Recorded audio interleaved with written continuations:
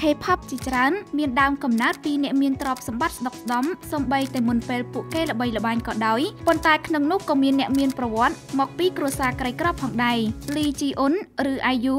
នាងធ្លាប់ជួបប្រទះការលំបាកផ្នែកហិរញ្ញវត្ថុមុនពេលចាប់ផ្ដើមអាជីពដោយដំបូងរស់នៅជាមួយជីដូននៅក្នុងបន្ទប់តូចមួយដែលមានសត្វកន្លាតមុនពេលនោះឪពុកម្ដាយនាងជំពាក់បំណុលគេយ៉ាងខ្លាំងប៉ុន្តែនាងដឹងថាខ្លួនចង់ប្រឡូកក្នុងអាជីវកម្មកំសាន្តតាំងពីតូចមកម្លេះ ទោះជាសាច់ញាតិចំអកនៅក្តីសុបិនដ៏ធំនេះក៏ដោយការប៉ុនប៉ងដើម្បីទម្លាយចូលក្នុងឧស្សាហកម្មនេះបានចាប់ផ្ដើមយ៉ាងកក្រឹកកក្រែងនាងបានបរាជ័យក្នុងសវនកម្មចំនួន20ដងក្នុងរយៈពេល2ឆ្នាំហើយថែមទាំងត្រូវបានបោកប្រាស់ដោយភ្នាក់ងារខ្លាំងខ្លាយទៀតផងប៉ុន្តែនៅឆ្នាំ2007អាយុបានបង្ហាញខ្លួនជាលើកដំបូងនៅក្រោមដំបូលផលិតកម្ម Luan Entertainment ចាប់តាំងពីពេលនោះមកនាងមានឱកាសចេញបទចម្រៀងសម្ដែងក្នុងកម្មវិធីនិងបង្ហាញពីភាពប៉ិនប្រសប់ក្នុងនាមជាតារាសម្ដែងនៅក្នុងរឿង K-drama ដូចជា The Producer, Persona និង Hotel Del Luna ដែលសុទ្ធសឹងតែជាភាពយន្តទទួលបានចំណាត់ថ្នាក់ខ្ពស់ក្នុងប្រទេសកូរ៉េខាងត្បូង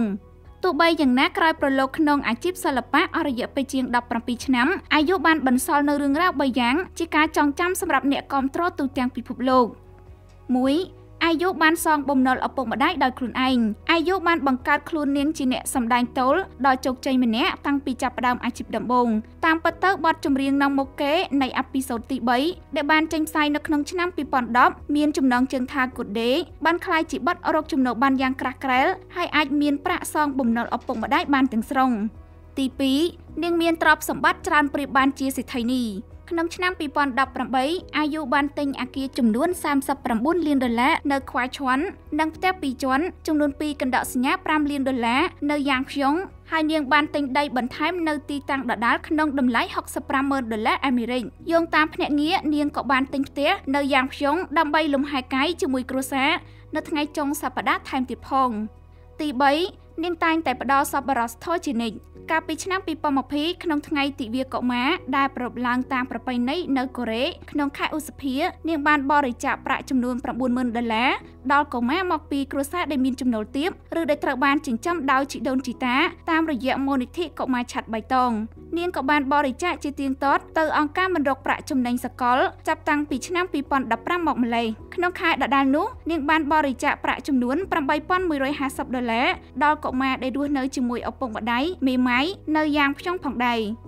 លើពីនេះនាងក៏បានជួយផ្នែកហិរញ្ញវត្ថុដល់សិស្សចំនួន5នាក់ដែលមិនអាចមានលទ្ធភាពបង់ថ្លៃសិក្សាដោយជួយពួកគេតាំងពីឆ្នាំ2013ដល់ឆ្នាំ2018អាយុក៏បានផ្ដល់មូលនិធិដល់ការសិក្សាដល់ពួកគេដោយការចូលរួមចំណែកចំណាយជាប្រចាំចំនួន170000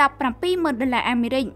យ៉ាងណាមិញយោងតាមប្រព័ន្ធផ្សព្វផ្សាយ GQ India និងប្រភព K Media បញ្ជាក់ថាទ្រព្យសម្បត្តិសុទ្ធអាយុគឺប្រហែលពី40ទៅ45លានដុល្លារក៏ត្រឹមខែកុម្ភៈឆ្នាំ2024ក្លាយជាតារា K-pop ដែលមានជាងគេបំផុតម្នាក់ទ្រព្យសម្បត្តិភាគច្រើនបានមកពីការផ្សាយតន្ត្រី ការលក់អាល់ប៊ុមគម្រោងសម្ដែងការប្រគំតន្ត្រីដែលបានលក់ចេញការផ្សាយពាណិជ្ជកម្មការចុះកុងត្រាពីម៉ាកផលិតផល និងចំណូលតាមប្រព័ន្ធផ្សព្វផ្សាយសង្គមផ្សេងៗទៀត។